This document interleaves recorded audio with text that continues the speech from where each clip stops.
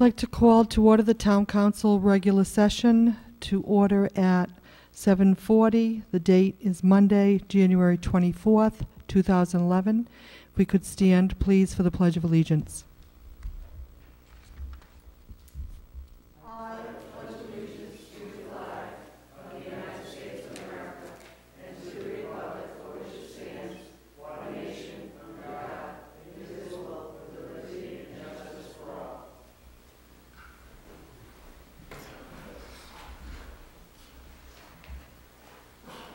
Thank you. Could we have the roll call, please, Dale? Council President Whaley, Here? Council Vice President McEntee, Here. Councilwoman Eddy. Here. Councilwoman Fogarty. Here. Councilman O'Neill. Here. All members present. Thank you, Dale. Which brings us to the approval of minutes of previous meetings. We have the work sessions for January 4th, January 5th, and January 10th, 2011. I move approval of the work session minutes for those dates. Second. Any further discussion? All in favor? Aye. Opposed, abstention, motion carries 500. We also have um, approval of the minutes of the regular session, December 20th and January 10th. I move approval. Second. We have a motion and a second. Further discussion? All in favor? Aye. Opposed, abstention, motion carries 500. Would anybody care to have anything removed from the consent agenda? Do we have a motion? I move approval of the consent agenda. Second. We have a motion and a second. Ready to vote? All in favor? Aye. Opposed, abstention, motion carries 500.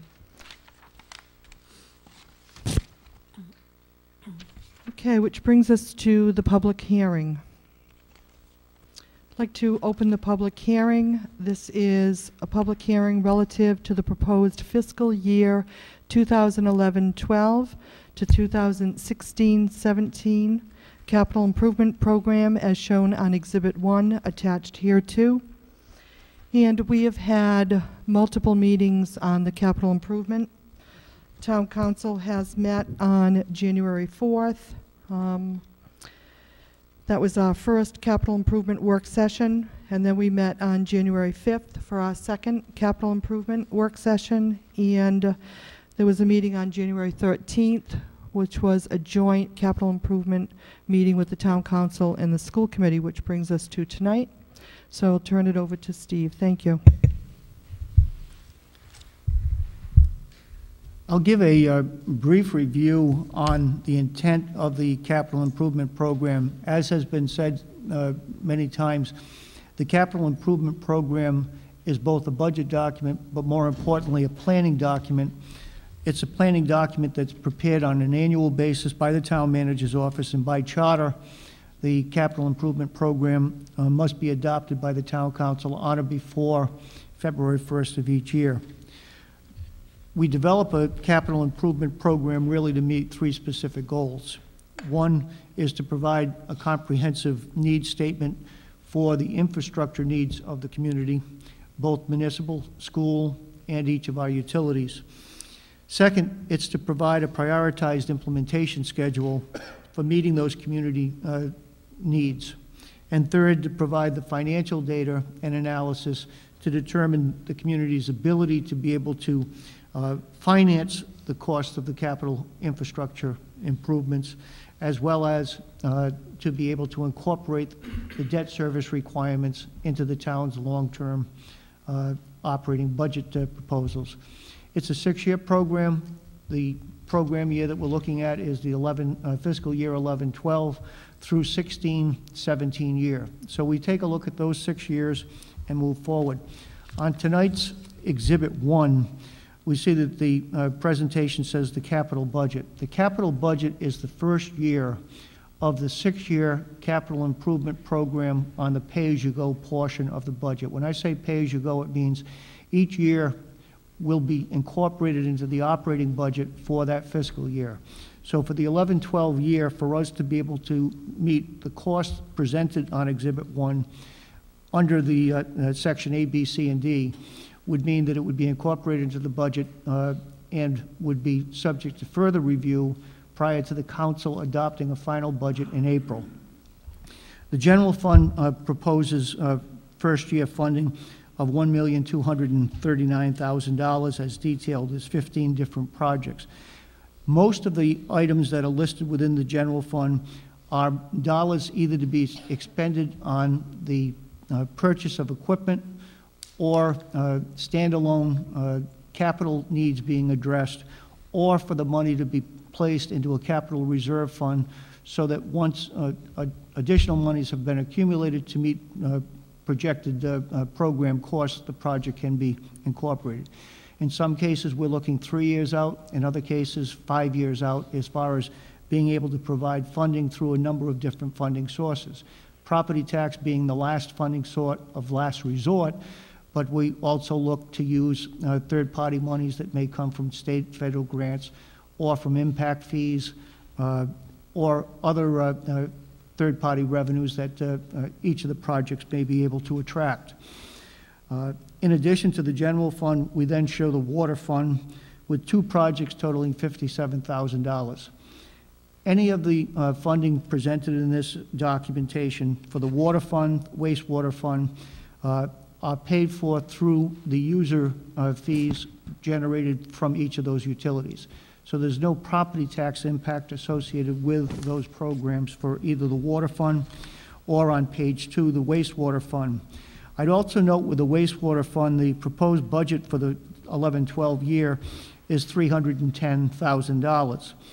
Since we operate the wastewater treatment facilities as a regional uh, program on behalf of the University of Rhode Island and the town of Narragansett, of that $310,000, approximately $185,000 would be the responsibility of the ratepayers in South Kingstown.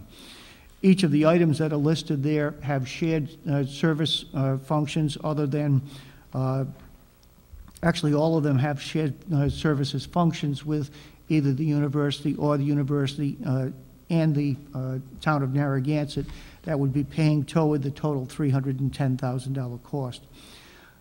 Uh, Sub-item uh, D for the school fund is the pay-as-you-go portion of the uh, school needs for the, uh, for the 11-12 year. The school system has placed into consideration uh, the use of $270,000 of the school fund to meet seven projects that are listed on the sheet. Uh, I have mentioned to the uh, council in the uh, various work sessions on the capital budget that the $270,000 uh, presentation uh, is uh, $160,000, I believe, above, was 160, $160,000 over what the base year funding was in the current year. So that may be difficult for them to be able to, uh, to keep in the budget by the time they submit a budget to the, uh, to the council, or the council decides on the transfer of uh, property taxes to the school fund. The, uh, the second component of the capital improvement program looks at the uh, long-term projects that uh, are necessary to meet infrastructure needs. At the 2011-12 edition of the capital improvement program looks at uh, approximately 17 projects that would be uh, spread across the uh, recreation leisure service area, general municipal program, or school purpose programs. Of those, uh, uh, those programs, we would be looking at uh, approximately $11,250,000 in bonding. So of the uh, $20,935,000 shown, of those 17 projects, 11.25 million would be coming from bonding. Of those bonds that would be necessary, 6.5 million have already been authorized by the voters, and 4.7 million would need to be considered uh, in November of 2012 at the next uh, uh, election cycle. There's uh, capital improvement funding that will be transferred, as I mentioned earlier. Many of the projects that are listed under the general fund have monies that are transferred into capital reserves. There's about $4.4 million that would be necessary to go uh, toward those projects out of the pay-as-you-go portion of the capital budget. Impact fees would account for about 1.15 million, and uh, there would be secured funds. These are grant dollars that are in hand or uh, monies that are already held in the capital reserves of about 3.5 million for the total uh, over the six years of the $20,935,000. Two other components, or three other components within the uh, capital uh, improvement program is that the uh, town zoning ordinance requires that the town establish uh, impact fees and, uh, and revisits the value of the impact fees on- on an annual basis. We are recommending uh, education facilities uh, impact fees for single and duplex houses for the 11-12 year at $3,244. This is a reduction of $117 from the current year rate of $33.61. We're also uh, recommending uh, that the multi-household units uh, with two bedrooms or less, which is held at 50% of the single-family home value, would decline uh, by $59 to uh, 1,622. And the accessory apartments, which is in at 25% of a single family, would go down $29 or $811 for the, uh, for the cost. We have looked at reductions in the education facilities fees after reviewing the capital costs associated with the construction of the uh, Broad Rock Middle School and the refinancing that was done of some of the initial bonds that uh, were, uh, were issued, where those have been refinanced at a lower interest rate. This provides for savings both as far as the impact fees as well as the community in general uh, through the uh, debt service uh, payments. For recreational facilities, also required to be reviewed on an annual basis through the, uh, the zoning ordinance. Uh, We're looking at setting up a new structure. We're looking at the single household uh, fee going down to $2,957 or $806 below the current year rate of $3,763.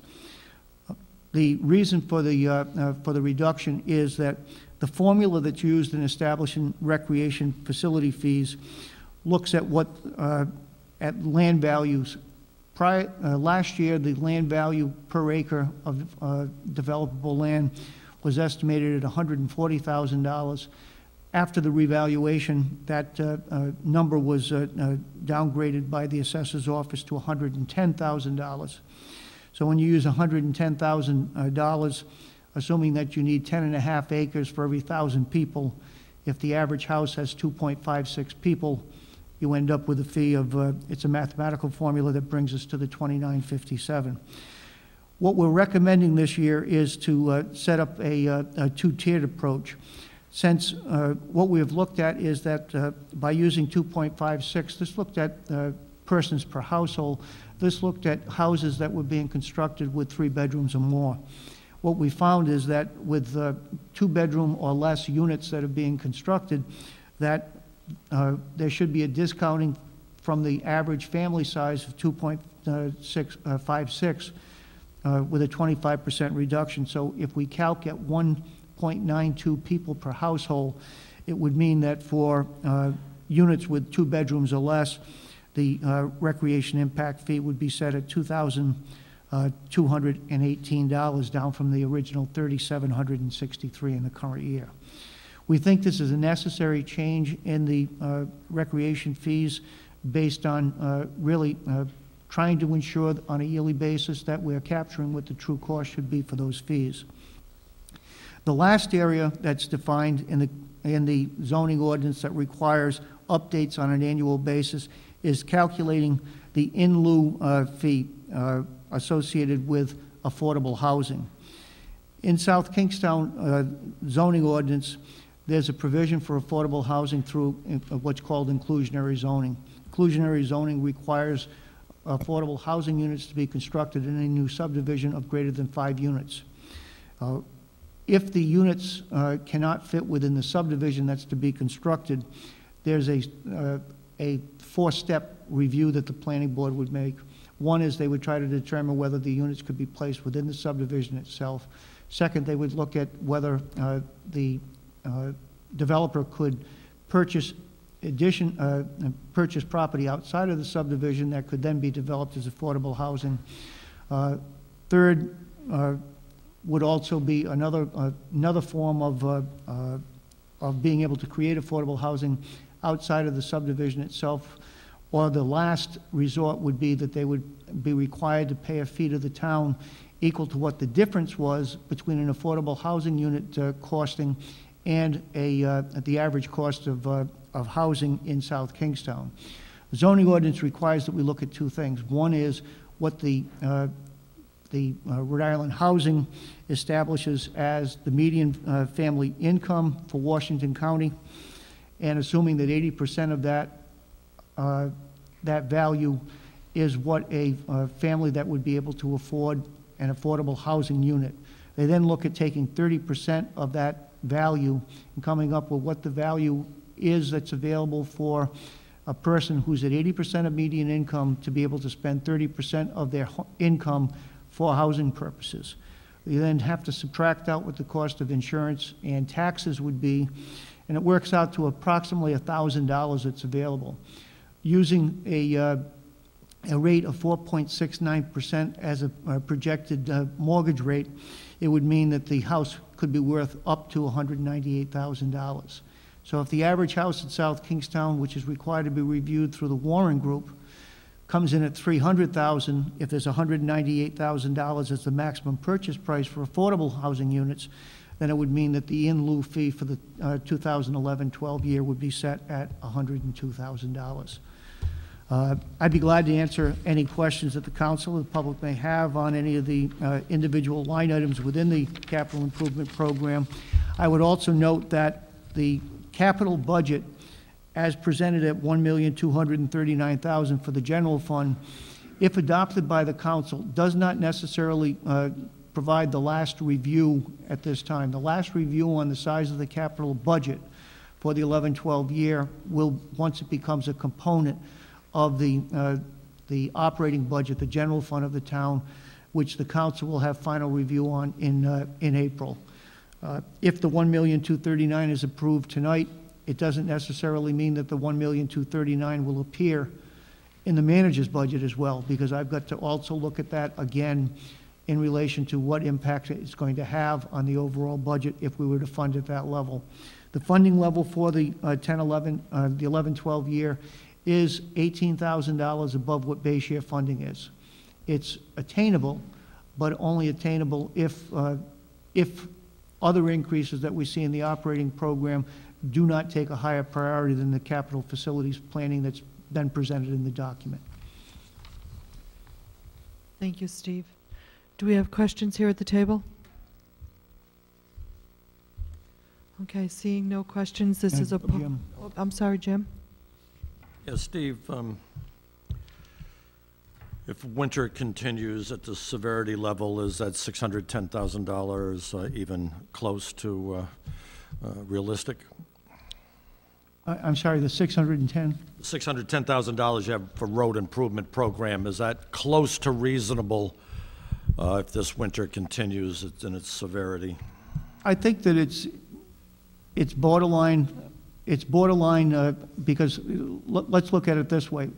We're looking at bond requirements of about uh, uh, $2 million being required in addition to the 610, which really is the first year and goes out uh, approximately at the same level for the next five years thereafter. One of the things that we have traditionally done with the road improvement program is that if we underspend the operating budget for the public, uh, Public Works Department, is we would transfer those dollars so we could use that as a cushion. Uh, Obviously, this year does not look as if we'll uh, be returning any, any surpluses uh, based on where we, where we stand with the uh, winter maintenance program. But I think that, uh, that the amount of work that's laid out over the next six years, for us to be able to get it accomplished with proper controls in place is probably as much as we can accomplish with the staff that we have in place at this point. Right, uh, two quick other questions. Um, Accessory apartments, um, is that detached or attached? on one They- single They, property? they can really be, in, they, the accessory apartment is... square feet, it's- It's based on the 850 square feet. Okay, is it 850 or 750? I think it's 850, or is it 7, 750? Okay. All right, and lastly, th- this is your budget, so, um, I mean, your capital um, program here, so I'm wondering why under the school fund you didn't put 110,000, why 270? It's based on what's been submitted by the school committee to date. Uh, I think that the major uh, reason, as was spelled out at, uh, by the uh, the superintendent at the uh, meeting on the 15th of January, was that they had downsized their capital budget uh, during the current year and did away with, uh, with projects that they would like to have accomplished, but that they didn't have the dollars to accomplish. That's why I think that when they evaluate the 11-12 budget that's before them at this point, they're going to have difficulty in being able to uh, uh, provide for that type of a funding level. And they'll have to again look at whether or not uh, all of those seven projects are uh, in fact urgent uh, and within funding level. The Key word is then proposed capital budget. Thank you. Further questions here at the table?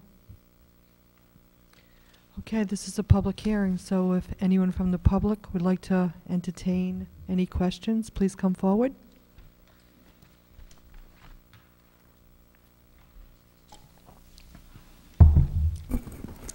Sometimes I feel like I'm the only guy that wants to talk, but uh, Steve Corley, uh, West Kingston, Rhode Island, and uh, you know I read the budget. It's a definitely a good piece of work, and uh, you know we're talking about uh, you know leisure's like seven million, and uh, the total for the next six years seven eight million, and the total is 20, 20 million, and uh, you know I I- have no complaints about that. I think that's a, a good thing to be doing for our community, and uh, I think that if you move the library up into the leisure, you, you even make that number higher, which I, I, I think is a good thing to do. I happen to live uh, at the intersection of Stony Fort and Plains Road.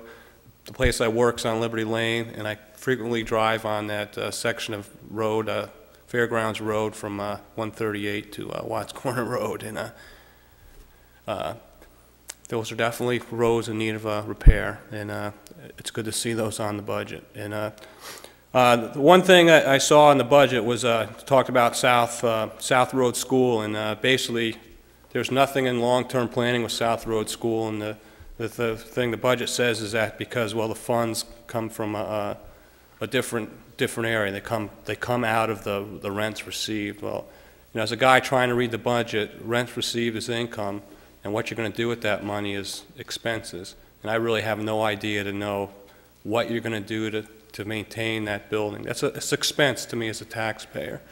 You know, I've said before, you know, right now, uh, I think there's an extra school besides South Road, based on what the uh, school superintendent said last year. They could close, she picked two different schools. One she said she'd save you $300,000 a year, the other she said she'd save you $800,000 a year. Maybe I got the numbers wrong, but that's what I think I remember from last year. And uh, in a capital improvement project, you talk, you have two schools that have a million dollar uh, expenses out the next uh, six years, one Matunuck and the other West Kingston, and uh, $1 million is 5% of the current uh, six-year plan, and uh, 5% is a significant number. And uh, uh, I've always said that I think West Kingston should be the school that's closed because of its location, and it's more valuable to the, to the town as a, uh, as a uh, place for business to grow. But having said that aside, I mean, there's a, there's a significant amount of money, and and I just kind of like to, you know, I came to the Capitol, the, the budget meeting between the school and the, and the town, and I, I kind of had this misconception about you guys would have back and forth me talking about that stuff, and I guess the reason I'm here today is just to kind of encourage you to have a dialogue with the school, you know, about what you really, what the school really thinks the plan is for the next few years, because if they are going to close the school, you know, I, I think the town would kind of want to say, well, let's do this one because overall the effect is such and such, you know, and uh, I just think it's worth the dialogue. And, you know, six years is a long time, and, you know, the town is not growing fast. You know, town manager's report shows that. The number of houses being started is going down. 84% of the people have lived here one year or longer. So that means that our population is aging, so it means less kids in school.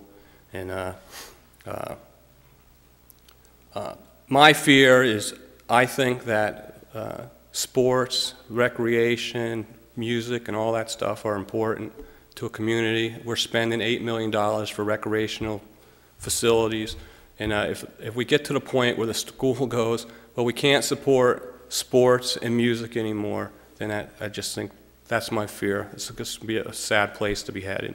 And uh, thank you for listening to me. Thank you, Steve. Um, Just a reminder also that the school committee does have their budget work session um, tomorrow and also January 31st. Ella, if I could just clarify a couple of points. As far as South Road School is concerned, a capital reserve fund was established several years ago at the time that the school was uh, leased.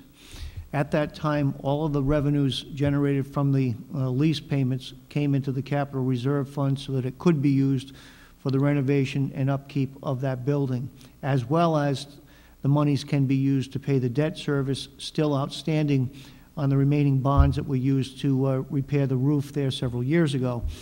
At this point, there's about $308,000 that's in that reserve fund.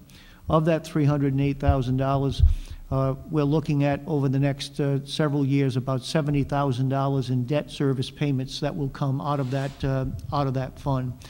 So that would uh, put us somewhere in the area of around uh, $225,000 that's available uh, without touching property tax or school funds to be able to renovate or upgrade that building if need be for whatever new purpose it would be. The school committee has also uh, put out a, uh, uh, a request for proposal for a new lease agreement for that building. I think that they were looking at anywhere from a 12-month to an 18-month or 24-month lease. Uh, That is still under negotiation with a party that did submit a proposal for leasing a portion of that building. If that lease were to materialize, again, that money would stay within that reserve fund for South Road School.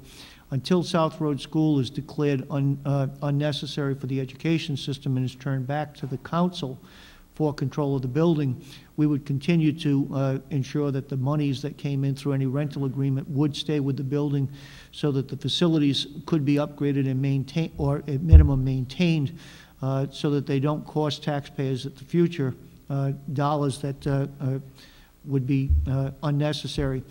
Nor are we going to allow those dollars to be used for operational purposes in the school system uh, when we're concerned that that building may have a, a future maintenance cost associated with it.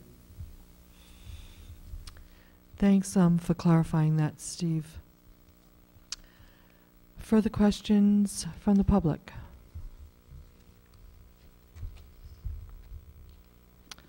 Okay, seeing none. Jim? Well, uh, Steve, one one more time, you said of the $11,200,000 that uh, we'll need in, in bonding over the next six years, uh, the 6.5 million that's already been authorized, so That's therefore, correct. only another 4.7 million that have to go to the voters? That's correct. Okay. Uh, Would that be done in 2012 or 12, 14? The recommendation in the, in the, uh, the budget document would be to have it go at the uh, 2012. Uh, And again, the beauty of the capital improvement program with all of the projects here, or the funding schedules are that they're looked at on a yearly basis. What I would suggest is that we look at this again next year in advance of determining what enabling legislation we would new, uh, we would need in advance of the November of 12.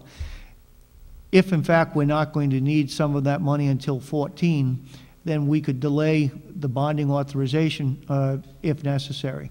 But again, recognize that bonding authorization and the actual selling of the bonds are two different things. We could, uh, we could authorize those bonds in 12 and still not use the uh, bond proceeds and actually put it to market for several years thereafter. So the council would still have control. The only thing that, uh, that we would want to do is to ensure that uh, the monies were available if the project was, uh, uh, was scheduled within a- an 18 to 24 months for, uh, for construction purposes. Do you use in the um, gross bonded um, debt, do you use the authorized n- amounts, even though we haven't uh, gone to the market and used the money? No, what, when we look Don't at use gross, you know, when we look at gross bonded debt, gross bonded debt is only what has been placed into the market. Okay, thank But you. in, in the debt schedules that I've developed for you, we are showing you two different schedules. One schedule shows you debt that's been incurred to date, and the second schedule shows you that debt incurred to date, plus if we integrated uh, the, uh, the $11.25 million over that six-year term. Okay, all right, thank you. Okay, further questions before we close the public hearing? Okay, do we have a motion to close the public hearing? So moved. Second. We have a motion and a second. All in favor? Aye. Opposed, abstention, motion carries five zero zero. And do we have a motion to approve the 11, 12, 16, 17 capital improvement program? I so move. Second. We have a motion and a second. All in favor? Aye. Aye. Opposed, abstention, motion carries seven, five zero zero, excuse me. And thank you, Steve and the staff for putting this together. It, it's a fair budget to meet the needs of the taxpayers here and to meet the needs of our community, so thank you. Couldn't do it without the staff. Know. Which brings us to communications. We have a resolution adopted December 13th, 2010 by the Jamestown Town Council requesting the General Assembly to enact comprehensive extended producer responsibility legislation is received, placed on file in the Town Council for the directs. Polly? Well, I think we discussed this during the work session, and we decided we would place this on file. Meant more money for the towns, and we didn't uh, think it was something that looked like it Thank you, Polly. We have a, s- we have a motion and a second. Further discussion? All in favor? Aye. Aye. Opposed? Abstention? Motion carries five zero zero. Communications, item B. A communication dated January 10th, 2011, to Governor Lincoln D. Chafee from David J. Crook, Senior President Pro Tem, Narragansett Town Council, suggesting the formation of an advisory panel of city and town representatives to comment informally on the statewide issues from a municipal perspective is received, placed on file, and the Town Council further directs. We discussed this at uh, the work session, and this is a letter from uh, President Pro Tem David Crook, but it doesn't look like it's been adopted by his town council, and it's not in the form of a resolution. It seems like it's for our information only. I, I- I think we discussed placing it on file, so. Do we have a second? Second? We have a motion and a second. Further discussion? Ready to vote? All in favor? Aye. Opposed? Abstention? Motion carries five zero zero. Brings us to communication F.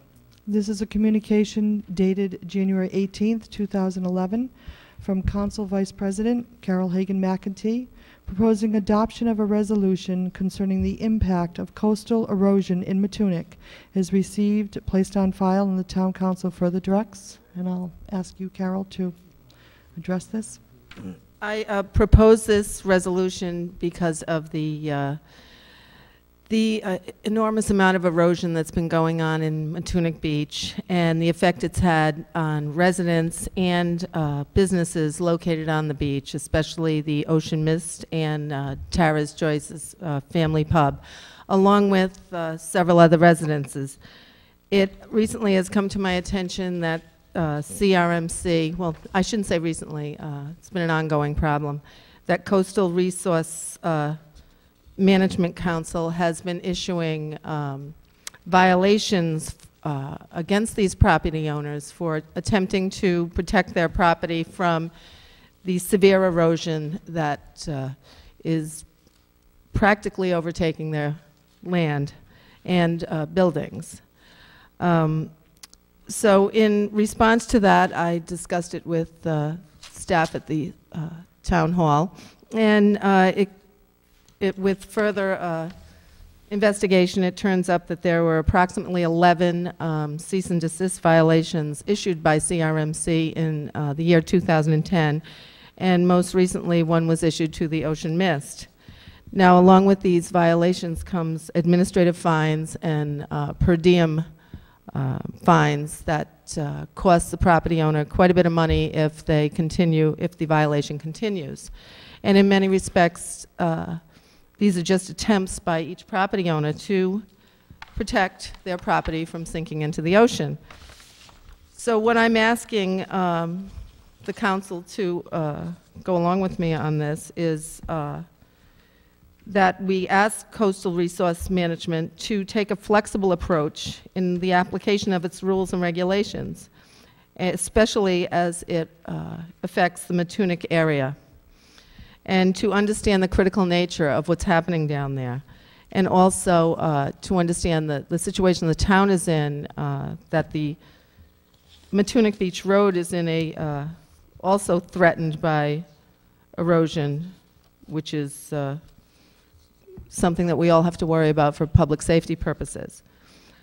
But um, in asking that CRMC take a flexible approach uh, and review their program policies and become more of an advocator as opposed to a regulator for, uh, for the situation that exists with the erosion in Matunuck. And that uh, to understand that these oceanfront properties and their owners uh, are a constant combat to uh, fight off the severe coastal erosion effects that have neg negatively impaired their properties. And in so doing, I would ask that uh, that we meet the town that the um, Coastal Resource Management Council uh, meet with the town council and town officials and residents and business owners from Matunuck to try and address this problem and develop long-term and short-term uh, resolutions on how they can handle uh, the impact that the erosion is having on their property, especially in, it needs to be reasonable and uh, economical so that the property owners can afford to address their individual problems. And I would like to send this uh, along to the governor, the local uh, legislative delegation, uh, the um, congressional delegation, and CRMC. So I would ask for the support from my fellow council members. Thank you, Carol. Questions here at the table? Jim? I don't have Any questions? Um, Excellent resolution, one that um, uh, we have a meeting with Coastal uh, as soon as possible, preferably uh, here in South Kingstown, maybe uh, down on the beachfront in uh, Matunuck, so they'll understand. Um, What we need from uh, Coastal Resources right now are recommended options on an emergency response situation post-storm um, versus long-term planning. And um, right now, it's uh, really up to the homeowners, business owners, uh, how to respond to, um, uh, to storm damage or uh, uh, what's predicted here in the very near term. And this is a very difficult role to be in because, uh, as Carol mentioned, um, rather than being advocates, uh, they're being regulatory, much easier to find and say no and to stop rather than give us ideas and some alternatives. Uh, Here's what we've seen work in some other areas. Here's what you need to do as a team, not individually. Um, We need that kind of response from coastal resources, uh, which uh, uh, to date um, has been sorely lacking. And the other thing I think coastal needs to um, pull together here, we've got areas uh, like this uh, uh, in Matunuck, and you've got it along the shoreline. We've had, we've got developed areas which have been developed, developed for centuries. Uh, business, old hotels, residential, and yet we have huge beach areas. So I think we need a different kind of designation from coastal. Yet I think they really, um, I think everything falls under the same designation, whether it's a wide open beach and open space versus uh, a developed area. And uh, so that's, um, this is something we really need to all get on board. Uh, hopefully, uh, unfortunately, I should say, um, earmarks are gone in Washington, so a lot of that extra money that uh, uh, may have helped situations like this, as well as uh, Cliff Walk in Newport, so on and so forth, uh, earmark, earmarks are gone out of the um, uh, federal budget right now for the year coming up. So um, we've got to think of um, uh, what we can do at a local level, not only uh, for the business owners, uh, residences, but the town too. We've got to be able to respond to these issues. And it's just not um, uh, where we talked about this evening, um, Joyce's Family Pub, Tara's, and um, Ocean Mist. Um, You know, if everybody read the paper yesterday, they'll see uh, coastal sites retreat from the rising seas, from worsening erosion, uh, talked about California, North Carolina, water rising three times faster than 100 years ago.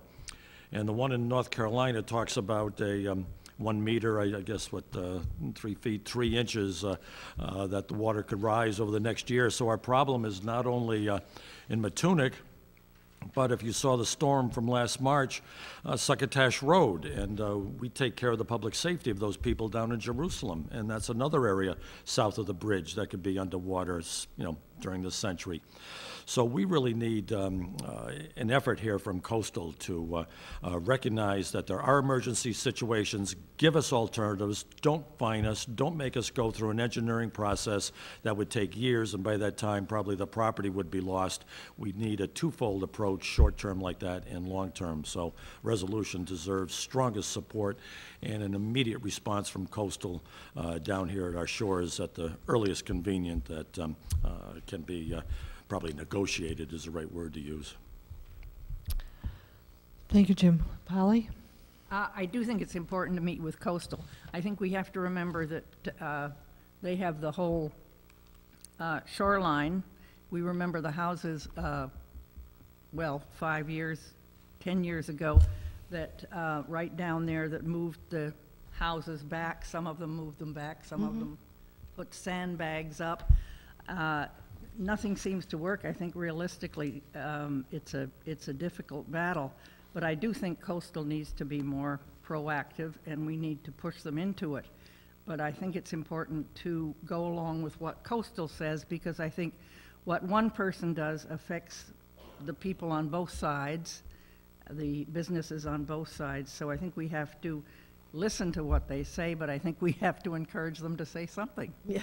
So it's a good resolution. Thanks. Thank you. Further comments here at the table? I- I'd just like to say one more thing. I mean, um, in the spirit of inviting them down, maybe we could have them down to Tara's or the Ocean Mist. And on a stormy night, uh, some nights when you go in there, it's, it's like they're on a sinking ship with a pail trying to bail the water out. So uh, it really is important to get on this as soon as possible. Like to say during the day, because really, one of the main things we've got to protect is really the road that leads to the businesses and all the other houses that are down there.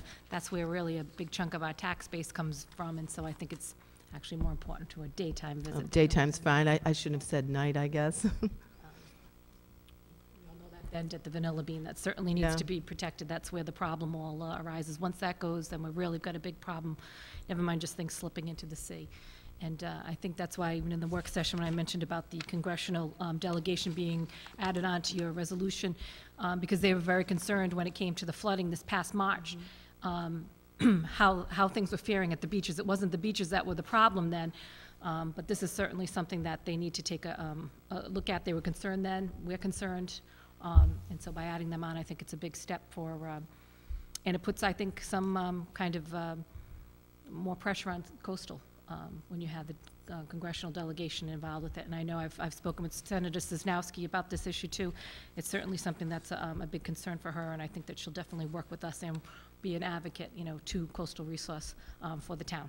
So, Thank you, Kathy. Steve, is there anything further you'd like to add? No, I think the, uh, the resolution as drafted at this point uh, really states a, a strong municipal position. The only thing I would note is that there's really two divisions within coastal. The coastal staff really prepares the reports on behalf of the coastal council. The coastal council, their actions really are to deal with policy.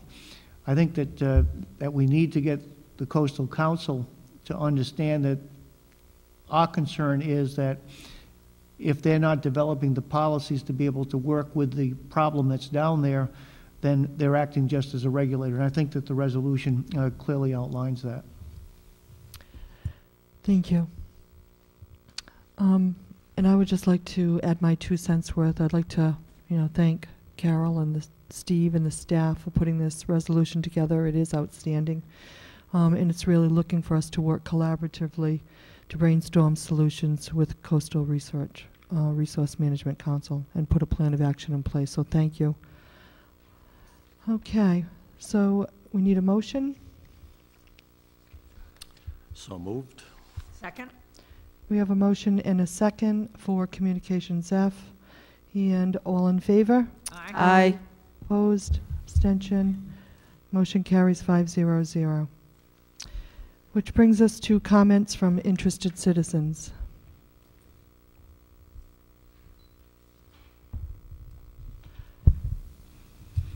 I would just like to um, make one announcement that I was invited to the Martin Luther King celebration on Monday, January 17th, at the church on Allen's Avenue. Um, so I went as a representative of the town council, um, and it was a delightful Martin Luther King ceremony. Any other comments here at the table or from the public? Carol? Uh, I uh, spoke with the Chamber of Commerce uh, today, and I just wanted to uh, make one announcement regarding them, that there will be a uh, Rhode Island statewide Chamber Night at the Ryan Center at URI on February 2nd, 2011. Members and non-members are all invited, and it starts at 5 o'clock. 5 to 7 is the networking event, and then at 7 is the URI versus Fordham University basketball game, and it's $25 per person. It might be a good uh, place for people to meet other business people and make connections, network, and see a good game. Thank you. Okay, which brings us to town manager's report.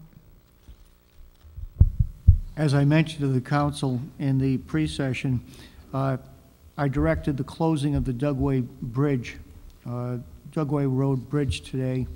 That was based on a state engineering report that was received this morning, a memorandum indicating that the, uh, the state had uh, done a reinspection earlier this month, and while they were doing the inspection, they also had both an oil truck and a school bus passing over that bridge.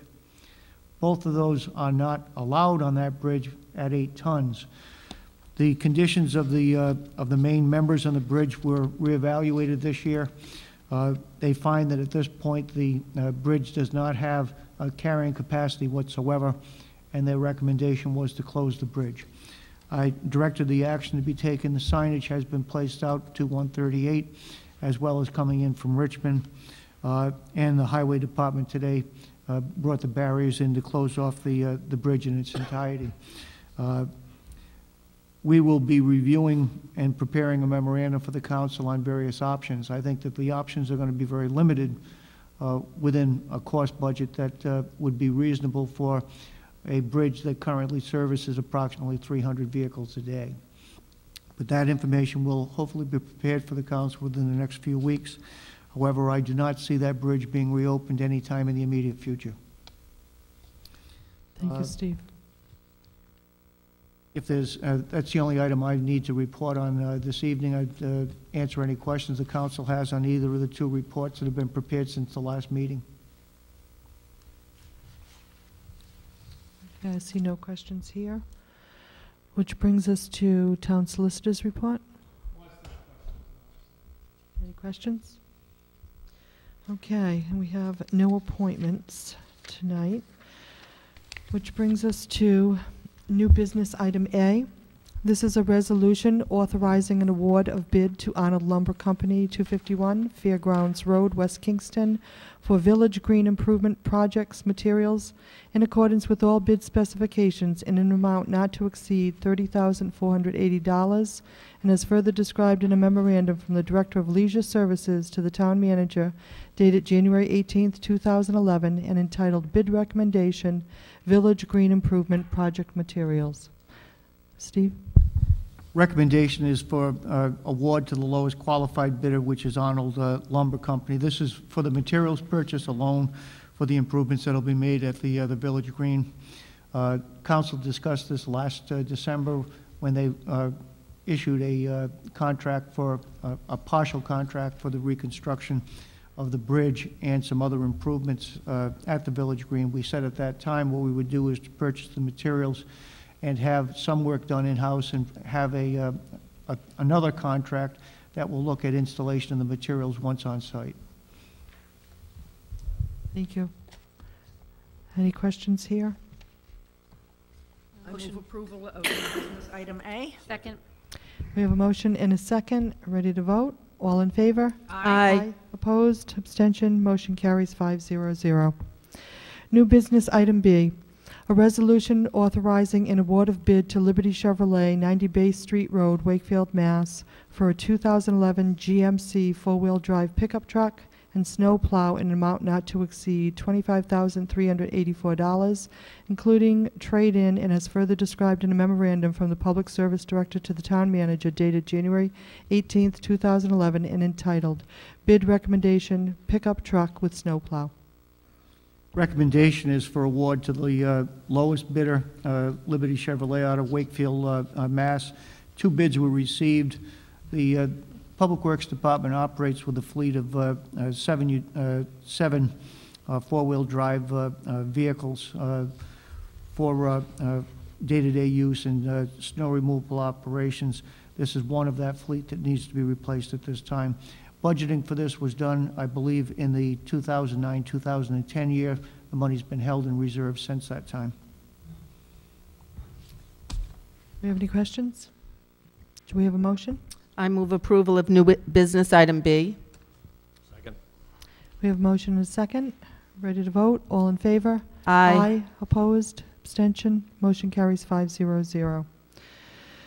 Which brings us to new business item E, a resolution authorizing the town manager in cooperation with the school department administration to negotiate a contract with Schneider Electric Buildings Americas Incorporated, Brickstone Square, Andover, Mass., to perform an investment-grade audit of town and school facilities with regard to energy conservation and savings, as further described in a memorandum from the Director of Planning to the Town Manager and School Superintendent dated January 19th, 2011, and entitled ESCO Energy Service Company RFP Review and Recommendation. As noted in uh, Vin Murray's memorandum, we're recommending the award of contract uh, with, uh, for an energy service uh, company, and that would be uh, Snyder Electric out of uh, Andover, Mass. Snyder is the parent company for American Power Conversion in West Kingston.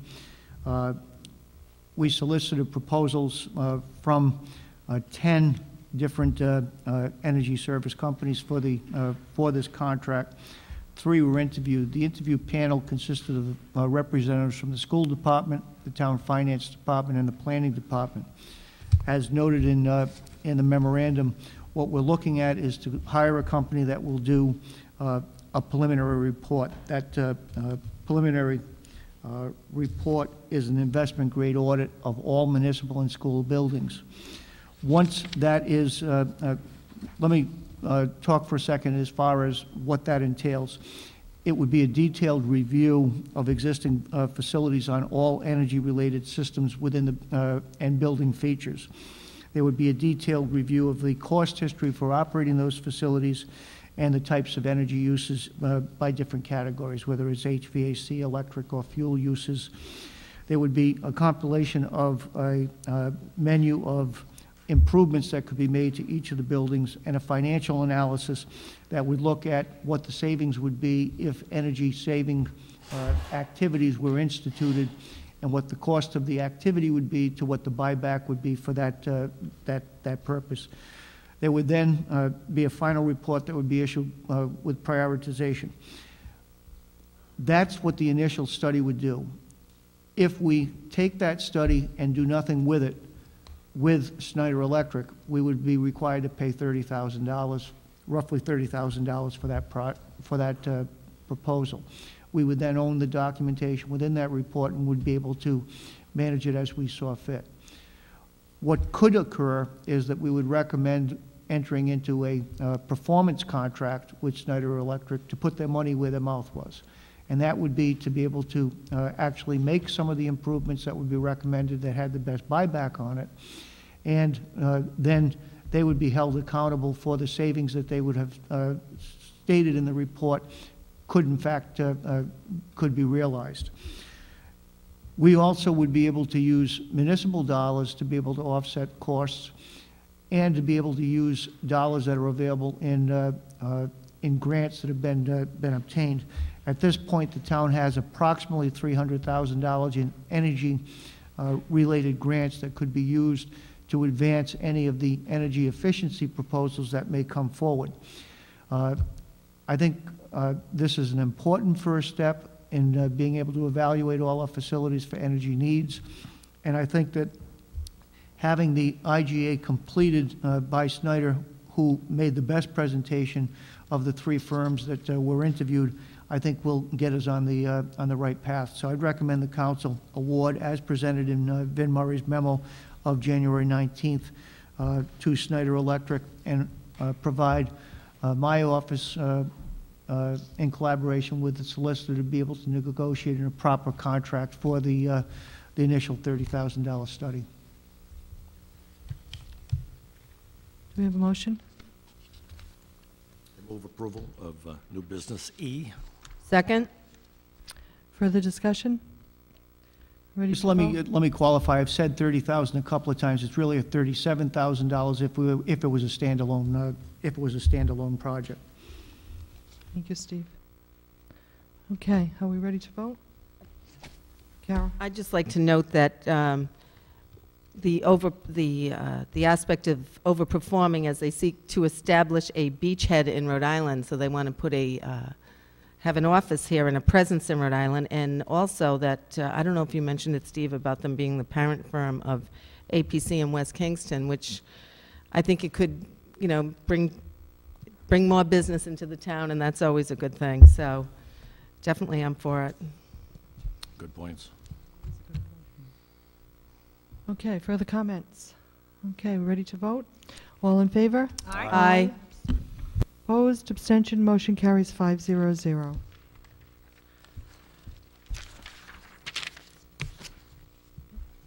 Okay, which brings us to, um, we have a closed executive session here on the agenda tonight, so um, if we could have a motion for executive session. This is a closed executive session pursuant to Rhode Island General Law 42-46-5A6 to discuss matters related to or concerning a prospective business or industry locating in the state of Rhode Island when an open meeting would have detrimental effect on the interest of the public. So could we have a roll call, please, Dale? Council President Whaley, Yes? Council Vice President McEntee, Yes? Councilwoman Eddy, Yes? Councilwoman Fogarty, Councilman O'Neill. Yes. Unanimous affirmative vote to uh, adjourn to closed executive se- session at 8:35. Thank you.